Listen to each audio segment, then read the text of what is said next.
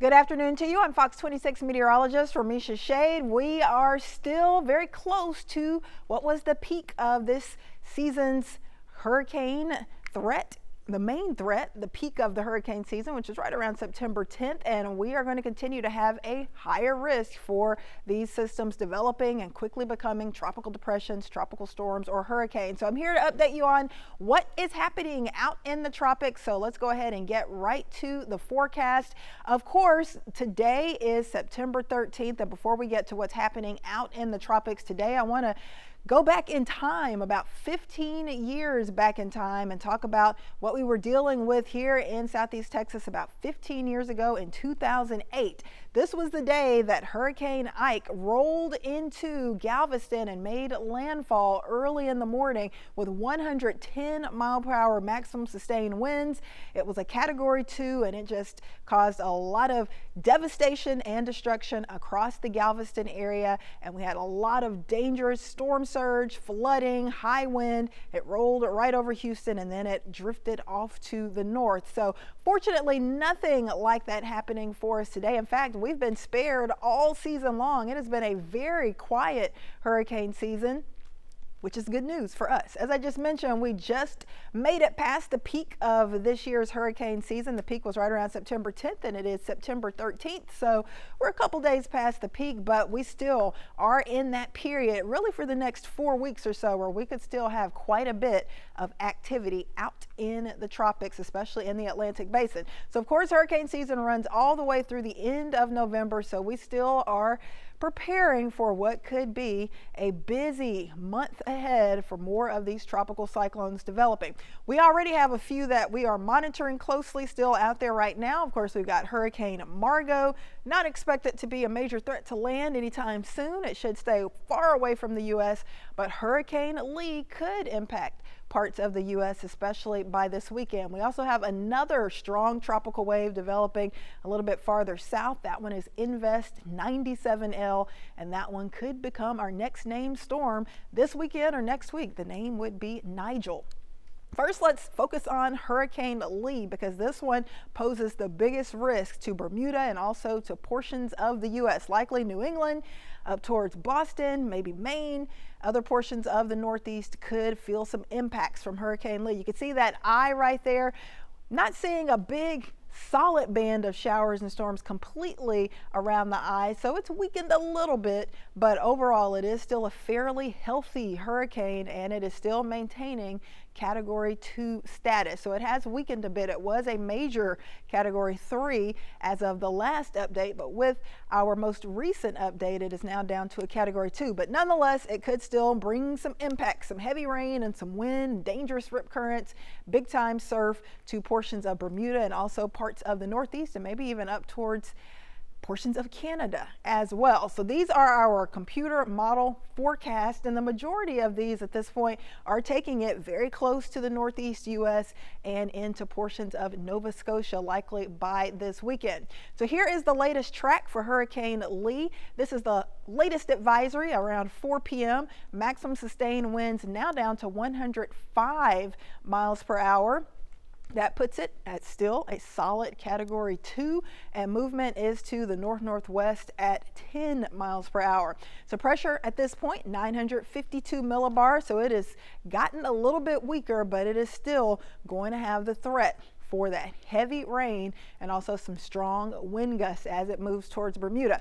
Now, at this point, the only warnings that we have out for Hurricane Lee are for the Bermuda area, as far as I know. We do have that tropical storm warning for Bermuda, but I do expect the Hurricane Center to be issuing some advisories, maybe some warnings for portions of the Northeast as Hurricane Lee gets closer to those folks as we go into the weekend. So right now, Lee with 105 mile per hour winds, it should weaken a little bit more by Thursday afternoon. Winds down to 100 miles per hour as it's getting close to the Bermuda area. It should pass by Bermuda late Thursday night into early Friday, and gradual weakening is forecast as we go through the rest of this week. Now let's hop to the weekend, Friday night into Saturday morning and Saturday afternoon, and Hurricane Lee is still maintaining Category 1 hurricane strength by Saturday afternoon around 1 p.m. with 75 mile per hour winds. And notice where that cone of uncertainty is it's just east of Boston, but it does clip central and eastern portions of Maine. So there could still be a U.S. landfall with Hurricane Lee, and it could make landfall as still a hurricane as early as this Saturday. Also in that cone of uncertainty, we've got portions of Canada over towards Halifax, Nova Scotia, so there could be some impacts felt there as well. Now, Hurricane Lee is expected to weaken to a tropical storm for the second half of the weekend, but the one thing to note is that the wind field in Hurricane Lee has really been growing, and those tropical storm force winds extend far out from the center along with the hurricane force wind. So even though Lee is not going to make a direct landfall in Bermuda tomorrow night or Friday, Friday morning. It is going to get close enough to potentially bring some tropical storm force winds to portions of Bermuda and also the threat for some heavy rain and, of course, that big time surf. So that's why we do have that tropical storm warning out right now for Bermuda. Even as we go into this weekend, Saturday, notice that wind field from Lee clipping portions of the Northeast, including Boston, especially up towards parts of Maine and over into portions of Canada and Nova Scotia. So definitely some alerts, some watches, some warnings likely going to come out for some of those spots as well. Of course, we also have another hurricane out in the Atlantic. This one is Hurricane Margot. And the forecast right now for Margot calling for it to do kind of a little loop here over the next few days.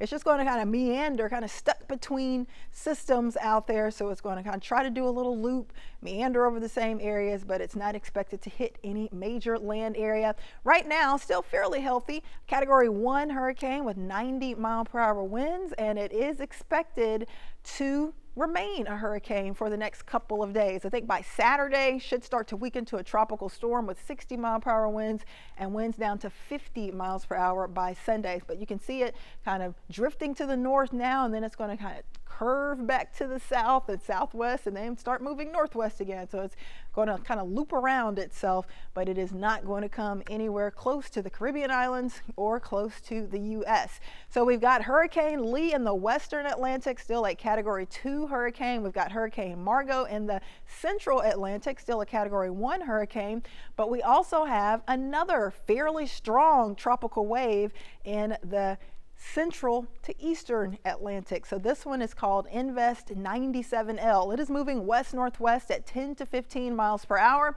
and there is now a high chance that it could turn into a tropical depression or tropical storm in the next 48 hours. So by this weekend, we could have another depression or tropical storm on our hands out in the Atlantic. Even higher chance to develop into a tropical system over the next seven days. So I do believe we will have likely tropical storm or Hurricane Nigel in the next couple of days out in the Atlantic. The movement at this point is to the west northwest at 10 to 15 miles per hour, so that may keep it out of the Caribbean. It will likely keep it out of the Gulf of Mexico, so that's good news for us. But once again, we'll have to monitor it and see if it stays on that track because there could be some impacts several days out once again for portions of the U.S. East Coast. Before now, we have to be concerned about some impacts from Hurricane Lee for the East Coast. It's going to miss the southeastern coast, the mid-Atlantic, but after it passes by Bermuda late Thursday into Friday, it's going to roll into the northeast U.S. and likely bring some of those impacts. The stronger wind, maybe one to four inches of rain to portions of the northeast as we go into late Friday, Saturday, and then it should start to exit by Sunday. So that was the European model. Now we're looking at the GFS or American model, and you can see our hurricanes out there. They're going to be sliding north, but then you will also notice that tropical wave kind of getting more organized to the south.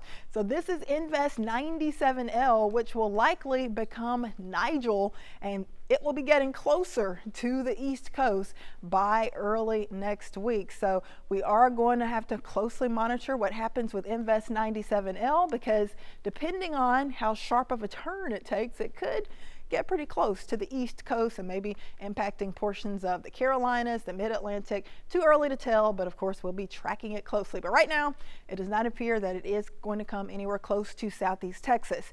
So far this season, it's been pretty active. We've been through 14 named storms already, five hurricanes, three major hurricanes, and we are right around those numbers that we would have for an average season. 14 named storms, seven hurricanes and three major hurricanes. But the problem is that we've still got a few more months in the hurricane season, so it certainly could end up being an above average season. At least things are quiet for the Gulf of Mexico, for the Caribbean, not much at all going on. We do have our chance locally for some showers and storms, but it's not going to be originating from anything rolling in from the Gulf of Mexico or the tropics. So certainly good news there. But of course, warm sea surface temperatures remain out there in the 80s to low 90s. So that still remains a concern down the road. If we do get something to develop, that super warm water could help those systems to really start to form and develop even quicker. Also, very warm waters for much of the Atlantic continue, so that's why we are still concerned that we could have more named storms added to this list over the next few weeks. So like I mentioned, the next name on that list would be Nigel. That will likely be Invest 97L once we get into this weekend or next week, depending on how fast it develops. But fortunately, it looks like it is not going to be headed this way. So nothing heading for Southeast Texas for now. But of course, 15 years ago, we had to deal with Hurricane Ike. So that was definitely a lot to go through. Of course, we had Harvey, we've had several others. So, so far, so good. Quiet for this hurricane season. But of course, still make sure to download our Fox 26 weather app so you can keep track of all things tropical. You can keep track of your local weather as well. There is plenty to see on there. We've got our video forecast, we've got the tropical weather, and of course you can track anything popping up on radar. Just head to the App Store, search for Fox 26 so you can get that downloaded on your phone. Well, that is it for your daily tropical forecast update. I'm Fox 26 meteorologist Ramisha Shade.